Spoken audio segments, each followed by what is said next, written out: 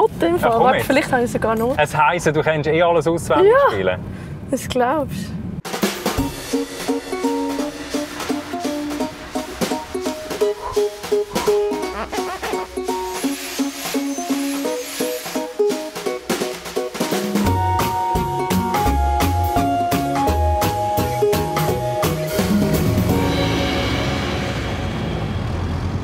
Taxi Müller, abfahrbereit und bald bei uns an Bord. Die Schweizer Meisterin, die Olympia-Bronzemedaillengewinnerin, Woman of the Year und jetzt auch MVP in Schweden, also in der besten Frauenhockeyliga von unserem Kontinent.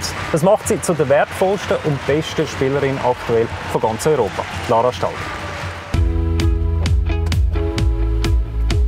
Ciao Lara. Hoi. Hoi, schön dich zu sehen. Ja. Du geht das äh, mit dem Material? Ja, tipptopp. Hat Äh, keine Luft willst du auf der gell? Rücksitz tun, oder? Ja, vollkommen sonst über. Ist gut. Oh. Top. Schau mal. Ja, bei diesem Wetter musst du auf den See, gell? Also das, äh, du musst mir sagen, das ist... Was ist da drin? Das Stand-Up-Paddle. Alles klar, das gehört Ja. natürlich zum guten Ton da, gell? Ja. In Luzern. Komm, Ja. steig ein, du, nimm Platz. Super. Du siehst, das Taxi-Business ist erfinderisch, Corona-konform mit Trennwand. Top. Hä? Einfach, dass da alles mit rechten Dingen zu und her Super. geht. Wo fahren wir an in dem Fall? An See am besten. Aha, Mit dem aha. Stand-Up-Paddle. Gut, Im schönen Wetter. Ja, das ist Gut gute ausgesucht. Dann gut. Das ist, das ist etwas, was du jetzt schon regelmäßig machst, das Stand-Up-Paddeln? Ja, eigentlich seit dem Geburtstag. Ich habe es von der Familie auf Geburtstag bekommen. Ah, cool. Ja, und jetzt Das ist schönes Geschenk. in diesem Wetter, ja, wirklich geniessen. Jetzt diese Woche sowieso, wenn es irgendwie fast 35 Grad wird, Ja. dann ist es herrlich auf dem See, ja. Herzliche Gratulation zu dieser unglaublichen Saison, die du, die du angelegt hast in Schweden oben. Du hast 71 Punkte in 36 Quali-Spielen gemacht, bist als MVP ausgezeichnet worden, hast einen Clubrekord aufgestellt dort oben. Äh, Das hört ja nicht auf mit... Äh, mit, mit Kannst du denen- aufhören? Ja, komm, nein, ernsthaft, das ist ja Wahnsinn. Und dann bist du noch ausgezeichnet worden. Oder hast die, die Preisübergabe bekommen, ich glaube, von etwa 8000 Leuten, oder? Beim, beim Heimspiel von eurem Mhm. Ja. Wie Ja. ist das gewesen? Ja, wirklich. Wenn du es zwei nochmal erzählst, gibt es gerade so Hirnhaut. Aber es war wirklich speziell. Gewesen. Eben dort Mhm. mal noch das volles Stadion, Serie gegen Lexan haben sie gespielt. Ja. Und, und dann hörst du auch die Fans deinen Namen rufen und so. Und das ist wirklich etwas Spezielles. Und etwas, ja, für, für das es sich eigentlich lohnt, jeden Tag äh, so hart zu arbeiten. Und ich wollte immer die Beste sein. Und schlussendlich eben bin ich, ist mir mega eher so einen Preis dürfen entgegenzunehmen. Und es ist auch ein bisschen so wie eine Genugtuung für die Leistung. Und ist sicher schön, aber schlussendlich eben hätte ich jetzt lieber auch noch den Golden Helmet mit dem Team gewonnen. Ja. Mhm, Das kann man vorstellen. Aber das ist, das ist so das, wo ja alles noch kann kommen kann. Also ich meine, da, da, äh, da gibt es eben eine nächste Saison für Genau, von dir bald an. gell? Eben, genau. Du hast mit der letzten Saison Geschichte geschrieben. Du bist ja die erste MVP bei den Frauen geworden. Das ist zum ersten Mal ist die Auszeichnung vergeben worden. Bei den Männern gibt es es schon länger und da sind Namen darunter wie Peter Forsberg, Henrik Lundqvist, Anders Eldebrink, nicht wahr? Die Ja. Flotenlegende. 88, 89 ist er doppelt äh, MVP geworden. Und er hat das natürlich auch mitbekommen. Und wenn du rechts von dir mal magst das iPad führen ähm, dann würde er dir gerne etwas mitgeben. Jetzt allerdings muss ich vielleicht noch vorweg schicken. Du bist seit drei Jahren oben in Schweden. Ja. Es ist auf Schwedisch. Okay. Äh, Du musst es für Gib uns übersetzen. Hej Laura, jag heter Anders Eldebrink. Jag har spelat många år i SHL i Sverige. Jag vill gratulera dig till att du har fått guldhjälmen. Jättekul att det är en schweizisk tjej som har fått den första guldhjälmen i, i damhockeyligan i Sverige. Jag själv fick den två gånger under 80-talet och det är ett av mitt finaste pris jag har fått på grund av att det är spelare, motståndare och kollegor som har röstat fram priset. Så att du ska vara väldigt stolt över det där priset. Det är någonting du ska uppskatta i framtiden också när det är kollegorna som har röstat fram det. Grattis än en gång Laura. Ha en bra dag. Tschüss! Mega lässig, ja. Entschuldigung, was hat er genau gesagt? Ich, also ich kann es mir vorstellen. eben das, also es ist noch lustig, gewisse Sachen wirklich Schwedisch und Deutsch ist mega ähnlich Ja. und so gratis, eben gratulieren und Jettekühl ist so mega lässig, so mega cool. Jettekühl. Jettekühl, Okay. ja. Ja, und eben der, der erzählt, dass, dass, eben, dass eine Schweizerin das gewinnt Mhm. dass, und dass er ähm, eben auch dort, äh, dort gespielt hat und das gewonnen hat und so. Also ja, so ein bisschen wirklich lässig. Da, Taxi Mücke.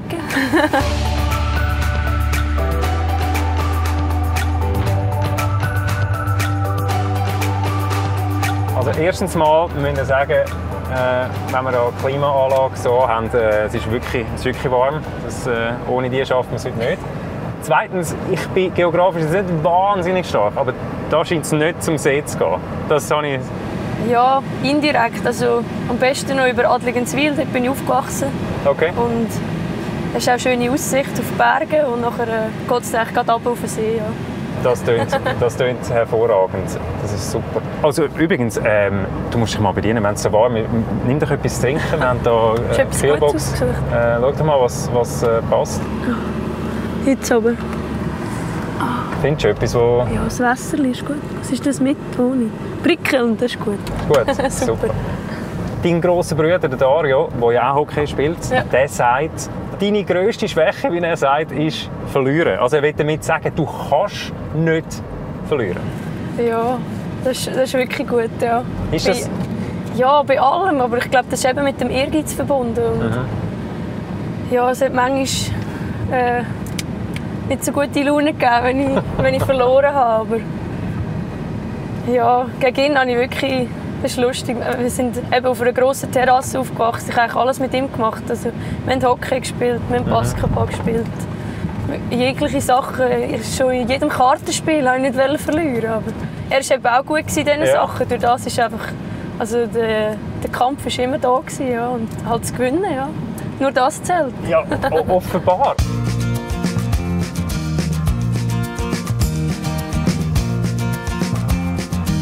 Du, jetzt kommen wir dann glaub, langsam mit deiner alte Haut, oder? Da- Ja, jetzt... Jetzt musst du, jetzt musst du sagen, wir sind in Adligenswil, sagt man nicht so? Adligenswil, ja. Adligen, Entschuldigung, Ja. Adligenswil. Oder einfach Adligen. Ist Adligen? Ja. Also, und wenn man, wenn man sich ein besser kennt, du Da sagst... rechts bin ich in der Oberstufe.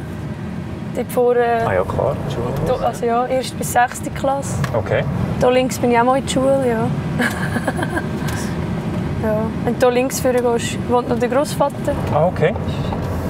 Ja, sind wir auch oft gewesen, eben zum Mittagessen bei den Großeltern nach der Schule oder ja. Und dann immer von da auch äh, nachher, wo, wo beim Z gespielt hast oder eben auch Rheinachts, oder bist du immer von da aus bist immer gefahren worden oder wie ist das? Ja, es war ein riesiger Aufwand. Also, äh, Mami, Papi, ein riesiger Dankeschön, weil sie haben mich gefahren, aber nicht nur mich, weil der Brüder hat auch Hockey gespielt und nicht in der gleichen Mannschaft. Jetzt kannst du hier rechts rauffahren. Und- Natürlich, nicht in der gleichen Mannschaft, oder? Ja, eben, äh, dann- das heisst ja, komplizierter ich irgendwie in Giasso unten und der Brüder, weiss auch nicht, irgendwie im Bündnerland oder so. Aha. Sie haben sich eigentlich immer aufgeteilt, haben zwei Autos gehabt und haben sich ja, uns gewidmet. Das ja, machen auch nicht viele Eltern. Jetzt kommen wir da an, wo du aufgewachsen bist. Wenn ich das darf fragen wie sehr erinnert dich das an deinen Papi? Ja, mega fest. Ich meine, er hat hier gewohnt bis zuletzt und er ist leider auch hier oben verstorben. Und ja, ist schon etwas Berührendes und eben, ich bin eigentlich nicht oft da, weil es einfach die Erinnerungen wieder aufholt und so, aber ja, ist halt so und ich habe auch schöne, äh, schöne Zeiten gehabt. Ich bin mega dankbar, wenn ich hier aufwachsen darf, kannst du eigentlich hier reinfahren. Da? Ja, beim roten Lift, ja. Ah, okay, ja. Also dann bist du da, Genau, da ja. haben wir die grosse Terrasse gehabt, wo Genau, wir ja. all die Duelle haben. Ja, mit dem Brüder zusammen und ich meine, der Papi war auch mega sportlich und Ja, hat auch bis zuletzt sind wir auf die Terrasse raus und haben jegliche Sachen gemacht, sei es eben Tischtennis gespielt oder so. Und, oder manchmal sind wir mit dem Hockeygold auf die Straße runter und Okay. ja, wirklich. Hast du dürfen oben spielen, dass du gegen oben gespielt hast? Oder wie ist das? Alex ein bisschen abgewechselt, gell? das ist mega unfair. Ja, aber nein, ich finde es schön. Es ist auch wie ein etwas zum Verarbeiten, da wieder hierher zu kommen, weil ich rede viel darüber Schon. und das hilft schon, aber hierher komme ich eigentlich nicht oft. Ja. Spezieller Ort. Wie sehr, würdest du sagen, hat, hat dein Papi dich und vielleicht auch deine Karriere geprägt? Weil eben, du hast gesagt, er war auch sehr sportlich gewesen und hat alles für dich gemacht. Ja, und ich glaube auch von ihm habe ich den Ehrgeiz Ja. bekommen, wo ich eigentlich mega dankbar bin, weil ohne den hätte ich es eigentlich nie nicht geschafft. Also, oder auch der Kopf, also der, wirklich der Wille, etwas zu erreichen. Und Ja. Er hat mir natürlich auch den Sport gegeben. Logisch, Mama war auch mega sportlich. gewesen Und, aber er hat mich auch immer unterstützt. Er war wirklich immer für mich da, gewesen, hat mich gefahren. Und er war ja, mein grösster Fan. Und eigentlich ja, immer noch. Also ich, ich glaube, er schaut einfach von oben zu und eben dort Olympia und alles, das hat er halt nicht erleben Das war mega schade, gewesen, aber das ist dann wie so ein bisschen, ich weiß nicht, das äh, Endprodukt von dieser langen, harten Arbeit, wo auch hinter, also wo die Eltern reingesteckt haben. Ja. Mhm, mhm. Darf ich fragen, was, was passiert ist damals? Ähm, ja, er ist einfach eingeschlafen und am Morgen nicht aufgewacht. Ja. Herzstillstand. Ja. Es tut mir mega leid zu hören. Aber wenn du sagst, dass er dein grösster Fan ist, ich glaube, das war, das ist mega etwas, mm. ja, eben, und er dich geprägt hat. gewisse Sachen gesagt, ja, eben, nachher gehst du auf Amerika und eben, ich bin erst nach der Olympiade von Amerika und er hat gesagt, er ging dann in die Pension und er kommt auf Amerika und baut sich ein Haus und einfach so Kleinigkeiten, wo dann wirklich, ich bin wirklich auf Amerika gegangen und habe die Sachen erleben und er war auch in meinem Herz dabei und mhm. einfach nicht die Sachen, die, er, man dann ein bisschen darüber fantasiert haben. Ja.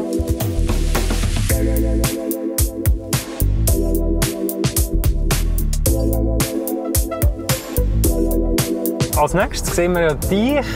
Du hast mit 5 angefangen. Oh. Schau mal. Das ist glaube ich nicht ganz mit 5. Nein, ja, nicht ganz. Bei, bei Luzern, ja. was weckt das so für Erinnerungen? Ja, ich glaube, das war glaub, sogar das Bad Nauheim. Das war so ein Auswärtsturnier. Und ja, dort haben wir noch so Fotos gemacht. Und ja, ich hatte immer das 22 oder das 21 gehabt, weil das Liebling war ein bisschen hellblauer. und als die anderen. Und Aha! Ja, oh, wirklich, das, wegen der Farbe hast du 22 ja, ja, ich habe das schönes Hellblau gefunden. Ah, ja. und Blau ist sowieso meine Lieblingsfarbe, aber ja.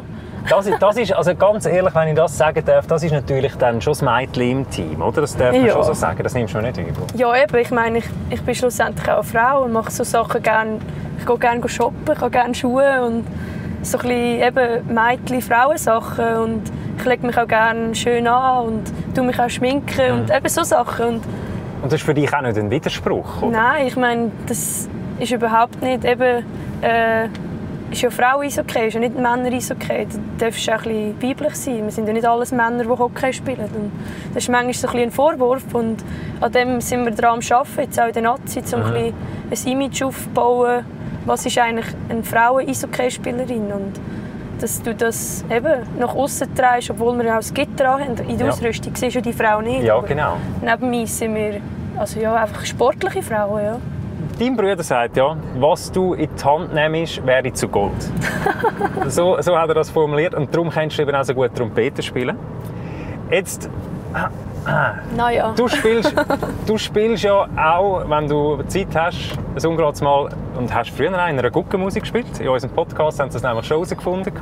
Da wollen wir natürlich einen Beweis haben dafür. Und da dafür könntest du hinten... Ja, jetzt musst du vielleicht hinter, hinter meinem Sitz dann mal schnell schauen. Kannst du da, äh, bitte mal schnell... mal weg da. Ja, ich glaube, äh, du die Hände frei haben. Nein.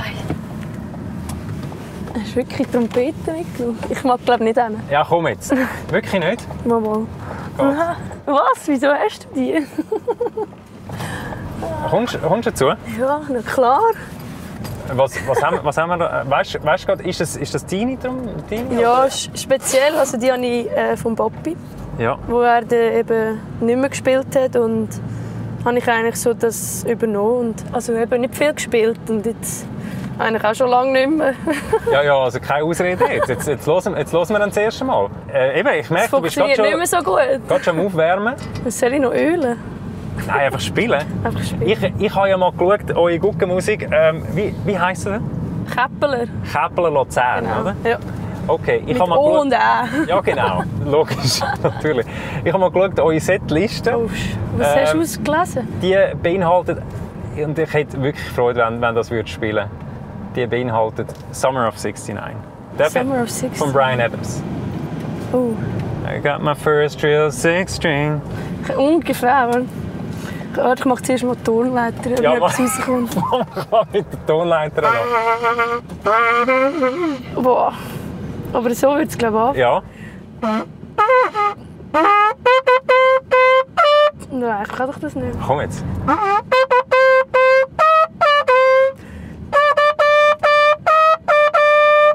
Ach, ich, äh, ohne Noten im Fall. Ja, vielleicht habe ich sogar Noten. Es heisst, du kannst eh alles auswendig ja, spielen. Das glaubst du? Nein. Oder, Also, warte, also- ich wähle sonst etwas anderes. Ja, also, Kennst du Lady Black? Lady in Black? Lady in Black? Ja. ja komm. Wow, es, ist, es klingt komisch im Fall. So als wäre irgendetwas kaputt. Kannst du das auch rausschneiden? Das, nein, das ist, das ist selbstverständlich. Du.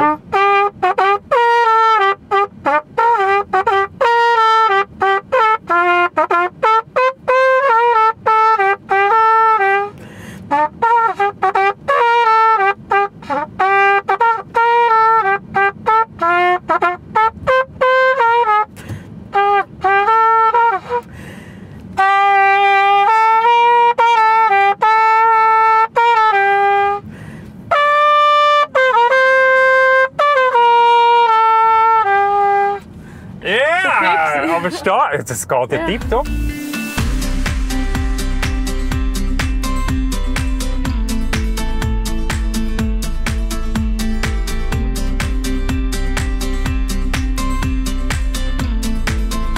Ähm, wenn wir zurückkommen zum Hockey, dann sagst du, wenigstens bis du auf Schweden gegangen bist, der beste Moment ist klar Olympia 14, die Bronzemedaille, die ihr gewonnen habt. Würdest du es jetzt immer noch so sagen?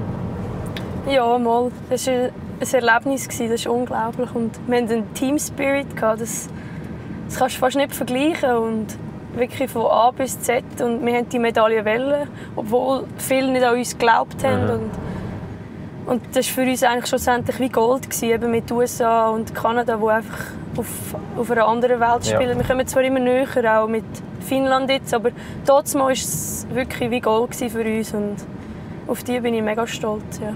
Ähm, du erleb, also hast in den USA erlebt, dort hast du eigentlich ein Profileben geführt. In Schweden hast du so wie ein Halbprofileben. Schweden macht eh mega viel auch von den Clubs aus für, das Frauen-Eishockey. Ich glaube, es gibt sogar Sponsoren, die auf Clubs, wie ich höre, Druck aufsetzen, Genau. dass sie ein Frauenteam haben und das äh, richtig fördern. Wie sehr hast du das Gefühl, ist es in der Schweiz denkbar?